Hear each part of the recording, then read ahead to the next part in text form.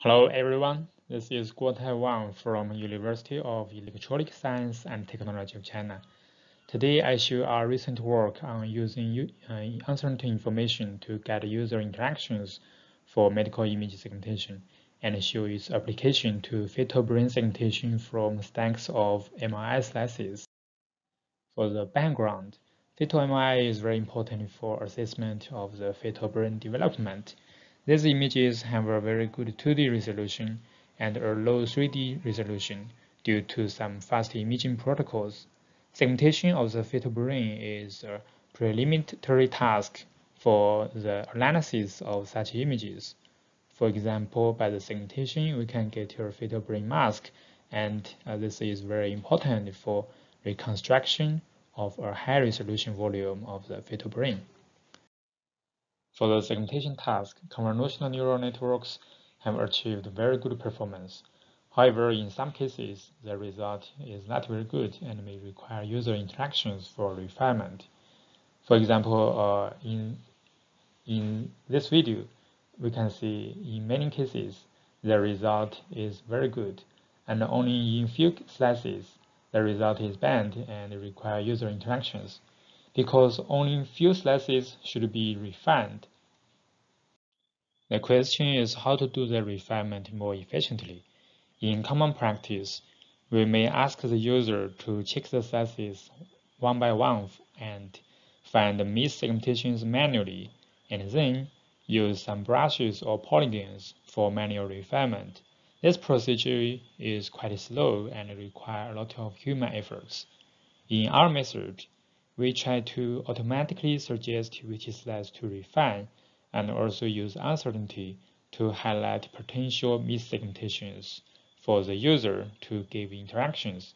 Based on the interactions, we use a novel level set method to obtain the refined result. So the entire procedure will be um, more efficient and only require few user efforts for the refinement. This figure shows the proposed framework. From an input stack of 2D slices, we use a novel network called MGNet to obtain the initial segmentation and the uncertainty information for every slice. Then we fetch the slice with the highest uncertainty and present it to the user ask to ask for interactions. The user interactions are combined with a level set to obtain the refined result. Then we fetch the next slice with the highest uncertainty to ask the user for refinement. The procedure will terminate when no more slices are suggested by our method. Here is our MGNet for uncertainty estimation. It is based on the UNet backbone, and we split the feature maps into n groups each group is convoluted independently, so the network can be considered as in parallel subnetworks.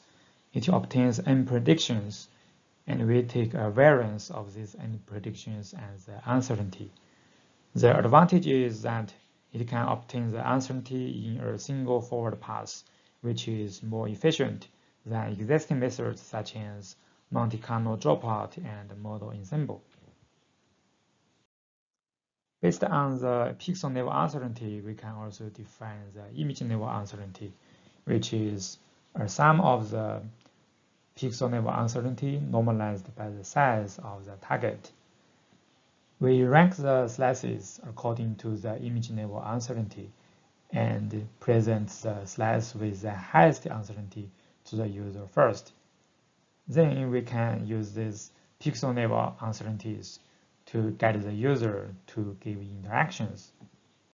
With the user interactions in our slides, we use um, uh, interactive level set method to obtain the refined result.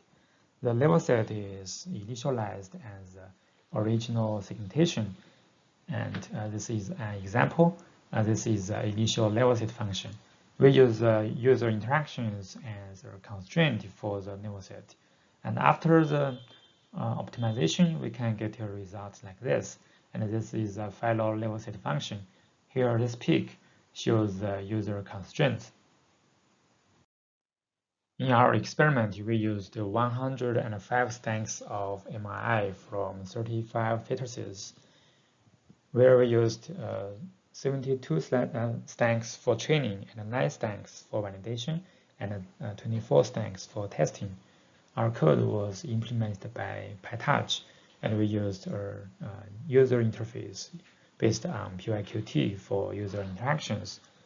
Our code is also available on GitHub. For the uncertainty estimation, we compared our method with Monte Carlo dropout and model ensemble. Here you can see the uncertain region based on Monte Carlo dropout, mainly focus on the edge of the segmentation. And the model ensemble uh, performs better. For our method, you can see the missegmentation and the uncertain, uncertain region uh, match very well. Here you can see the uh, regions with high uncertain, uncertainty are also uh, missegmented.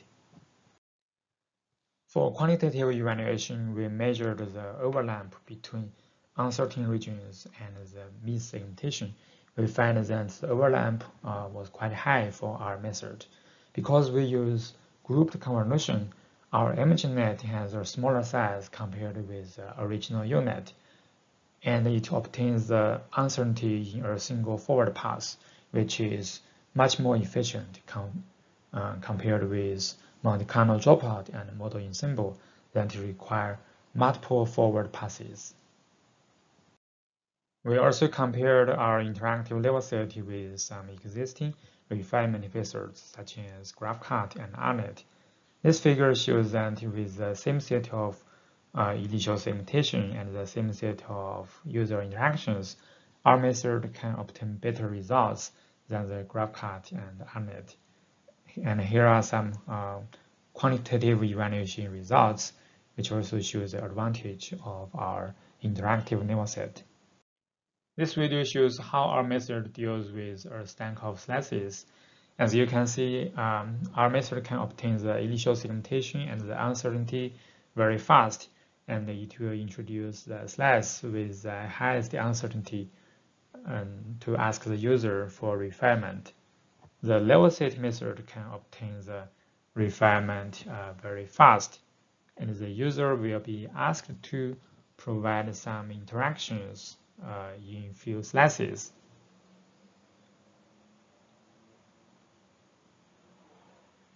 And you can see after refinement of few slices, the procedure will end, and the user does not need to check each slice manually. This will improve the efficiency. Um, and we find that compared with not using uncertainty for guidance, the efficiency was improved around 30%. And compared with GraphCut, our method is four times uh, faster, and the accuracy is also uh, better than the GraphCut.